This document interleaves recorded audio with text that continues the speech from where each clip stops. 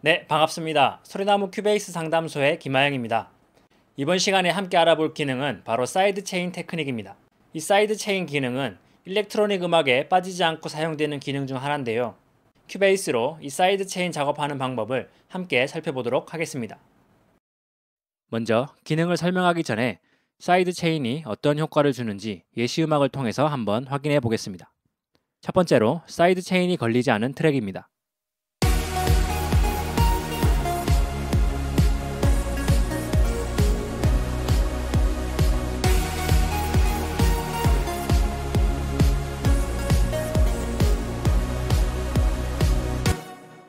네, side chain을 사용하지 않은 트랙을 들려드렸고 이번에는 side chain이 적용된 트랙을 들려드리겠습니다.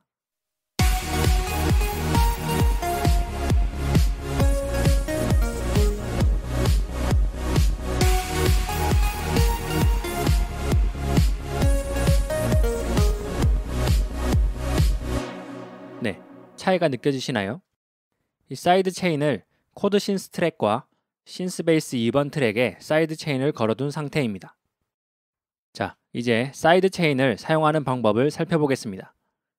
준비물은 킥 패턴 트랙과 코드 synth 트랙입니다.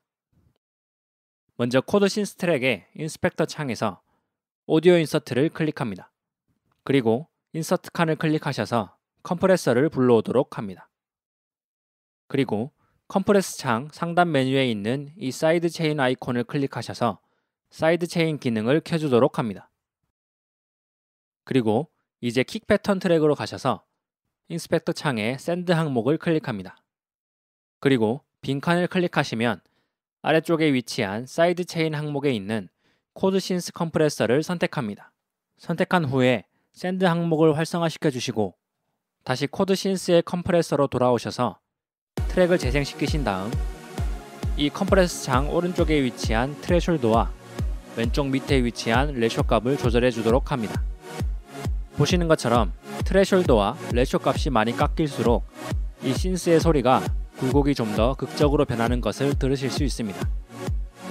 트랙을 재생시켜 놓고 계속 모니터 하시면서 본인이 원하는 소리에 맞추어 조절하시면 되겠습니다. 베이스 트랙도 마찬가지로 동일한 방법으로 적용됩니다. 길게 연주된 트랙을 준비해 주신 다음 베이스 트랙에도 컴프레서를 코드 synth와 마찬가지로 동일하게 걸어주시고 킥 트랙의 send 항목에서 베이스 트랙 컴프레서로 side chain을 걸어주시면 이렇게 베이스 트랙에도 side chain이 걸리게 됩니다.